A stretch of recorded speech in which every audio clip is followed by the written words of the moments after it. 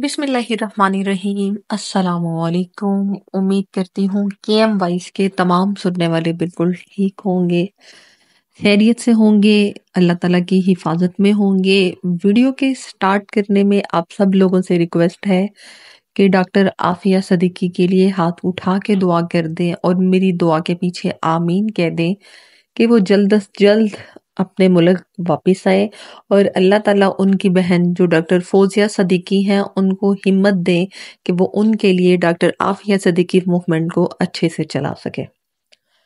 मैंने कोशिश की है कि डेली कुछ मोटिवेशनल स्टोरीज जो हैं, वो आपके लिए डाली जाएँ, जो कि बिल्कुल हकीकत में मबनी हो। मैं कोशिश करती हूँ कि हर वो चीज़ जो है मेरे चैनल पे लाई जाए, वॉइस ओवर की हसीियत से कि जो लोगों के लिए लेसन हो, जिसमें लोगों के लिए सबक हो, जिसमें लोगों को सीखने को मिले। जो लास्ट हमारी वीडियो थी, वो हमारी वीडियो थी कि ज़िंदगी में सुकून कैसे लाया जाए। और जो आज की हमारी वीडियो है, वो ये है कि ज़िंदगी में हम लोग किस तरह से दूसरों के लिए सुकून पैदा कर सकते हैं। हम ज़िंदगी में दूसरों को किस तरह से माफ़ कर सकते हैं। हम ज़िंदगी में आगे किस तरह से बढ़ सकते हैं। देखें ज़िंदगी बहुत छोटी सी है। सबसे पहले तो इस ज़िंदगी के लिए हम लोग अल्लाह ताला का शुक्र अदा करते हैं कि अल्लाह ताला ने इतनी खूबसूरत ज़िंदगी के साथ हमें नवाजा। उसके बाद नेक माँ बाप के लिए हम लोग शुक्र अदा करते हैं। ज़िंदगी के अंदर माँ बाप का होना इससे बड़ी कोई नेमत नहीं है। तो अब हम लोग बात कर लेते हैं कि ज़िंदगी में हम लोग कामयाबी किस तरह से हासिल कर सकते हैं। ज़िंदगी में हम लोग सुकून किस तरह से ला सकते हैं? हम लोग ज़िंदगी में आगे किस तरह से बढ़ सकते हैं? सबसे पहले तो हमें एक चीज़ जो अपने अंदर से निकालनी होगी वो है दूसरों को तनकीद का निशाना बनाना। जिस दिन हम लोग ये चीज़ें अपनी ज़िंदगी से निकाल देंगे, यकीन मानिए ज़िंदगी इतनी आसान हो जाएगी कि मैं मैं इसकी आपको कोई, आप ये कह लें कि वो, आपको मज़ा वो एक सरूर नहीं बता सकती। हमारी ज़िंदगी में जो आधी मुश्किल हैं, हमारी ज़िंदगी में जो आधी परेशानियाँ हैं, वो तो लोग क्या कहेंगे, लोग क्या सोचेंगे, फलाना क्या कर रहा है, फलाने फलाने ने ज़िंदगी में क्या अचीव कर लिया, फलाना ऐसा क्यों है, फलाना वैसा क्यों है this that those all this इन चीज़ों के अंदर हम लोग इतना स्टक हो गए हैं। कि दूर दूर तक जिन चीज़ों का इस्लाम से कोई लेना देना नहीं है, वो चीज़ें हमने अपने ऊपर थोप ली हैं। सबसे पहले दूसरों को तनकीद का निशाना बनाना छोड़ दें। वो क्या है, वो क्या कर रहे हैं, ये उनकी अपनी लाइफ है और उनका डायरेक्ट जो है वो अल्लाह से रिलेशन है। उसके बाद अगर ज़िंदगी में आपने आगे बढ़ना है तो हसद करना छोड़ दें। दूसरा क्या कर रहा है? दूसरे ने कितना कमा लिया दूसरे को ये जॉब कैसे मिल गई?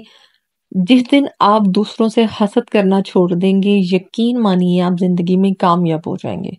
क्योंकि हमें ज़िंदगी में जो कुछ मिलता है, वो हमें अपने नसीबों का मिलता है। जो कुछ हमें मिलता है, वो हमें हमारी मेहनत की वजह से मिलता है। एक जो नसीब होते हैं, उनको हम अल्लाह ताला से डायरेक्ट जब अपना कनेक्शन हम क्रिएट करते हैं तो अल्लाह ताला हमें वो अता कर देता है। अल्लाह ताला देखता है कि मेरा बंदा मेरे पास आया है और रो रो के दुआ मांग रहा है तो वो चीज़ हमें अल्लाह ताला से हमारा नसीब बदल जाता है। उसके बाद जो दूसरी चीज़ है, वो हमारे माँ बाप की दुआएँ हैं।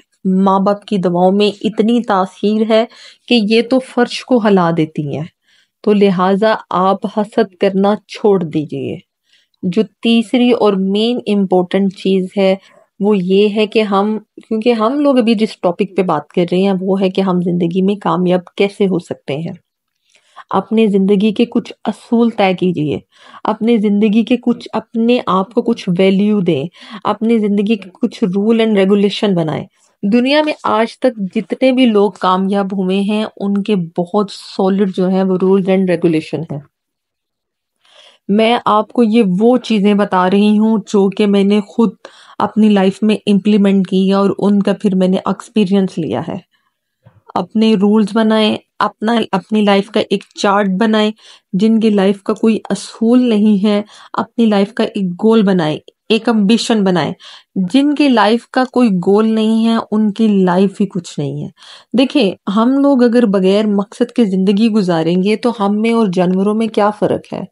वो भी हमारी तरह सोते हैं, खाते हैं, पीते हैं, अपने उनके सेक्सुअल रिलेशंस होते हैं। अब इंसानों में और हम में क्या फ़र्क है? हम लोगों की भी आजकल की ज़िंदगी क्या है? हम लोगों ने खा लिया, पी लिया, सो लिया, एक दूसरे को तनकीद का निशाना बना लिया, एक दूसरे को हसत में एक दूसरे से आगे बढ़, बढ़ना शुरू कर दिया। क्या कभी हम में से किसी ने बैठ के ये सोचा है कि ज़िंदगी में अल्लाह ताला, हमें अल्लाह ताला ने ज़िंदगी क्यों दी? हमें अल्लाह ताला ने अशरफल महलूकात क्यों पैदा किया? हमारा ज़िंदगी में आने का मकसद क्या था? हम ज़िंदगी में क्यों लाए गए? अगर अल्लाह ताला ने मुझे इंसान पैदा किया है तो क्या आपने कभी खुद से ये सवाल किया है कि मेरे मेरे पे जो अल्लाह ताला ने जिम्मेदारियाँ दी हैं, वो मैं पूरी कर रहा हूँ? क्या मैं अपने माँ बाप की खिदमत कर रहा हूँ? क्या मैं उनका कहा मान रहा हूँ या मान रही हूँ? क्या मैं अपने बहन भाइयों के लिए कुछ कर पा रही हूँ? क्या मैं जो अल्लाह ताला के हकूक है, वो पूरे कर रही हूँ? हकूकुल्ला पूरे कर रही हूँ? हकूकुल्ली बात पूरे कर रही हूँ? ये चीज़ें हम लोग खुद से क्यों नहीं पूछते? हम लोग दूसरों पे क्यों तनकीद करते हैं कि ये नमाज़ नहीं पढ़ता, ये रोज़े नहीं रखता, ये तो जहन्नम में जाएगा, ये तो जन्नत में जाएगा? हम लोग कौन है? हम लोग कौन होते हैं किसी की लाइफ के बारे में इतना बड़ा डिसीज़न लेने वाले, जबकि ये डिसीज़न तो डिसीज़न मेकर सिर्फ़ एक जात है। अल्लाह ताला और नीचे ज़मीन पे डिसीज़न डिसीज़न मेकर है हमारे पेरेंट्स तो ज़िंदगी में कामयाब होने के लिए ज़िंदगी के कुछ असूल बनाएँ, अगर आप कामयाबी चाहते हैं। जो चौथा पॉइंट ये है कि चुप करके अपनी मेहनत करते जाए और कामयाबी का सिला जो है वो अल्लाह पाक की पाक ज़ात पे छोड़ दें। क्योंकि अल्लाह ताला मेहनत को कभी रायगा नहीं करता। अल्लाह ताला हमारी मेहनत को कभी ज़ाया नहीं करता। अल्लाह ताला हमें उस चीज़ से नवाजता है जो चीज़ हमारे हक में बेहतर होती है, जो चीज़ हमारे लिए बेहतर होती है।